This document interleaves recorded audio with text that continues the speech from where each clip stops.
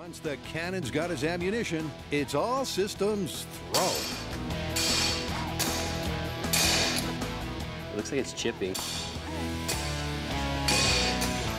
Yeah, I think that was my best shot right there. Why don't we check the high speed and see how fast you're throwing? But it looks like it's hitting really well. Yeah. And it's still not punching a hole. Incredibly, the high speed reveals that Matt's best throw peaked at 105 miles an hour, equaling the fastest baseball pitch ever recorded. Okay, Matt is throwing these needles so much harder than we were. I mean, just to illustrate the point, as I was picking them up, I noticed they're bent. That just shows how much energy is actually going into that needle and trying to penetrate that glass.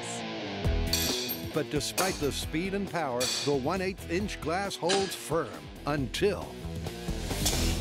Oh! I wish that had been the one. Oh my God!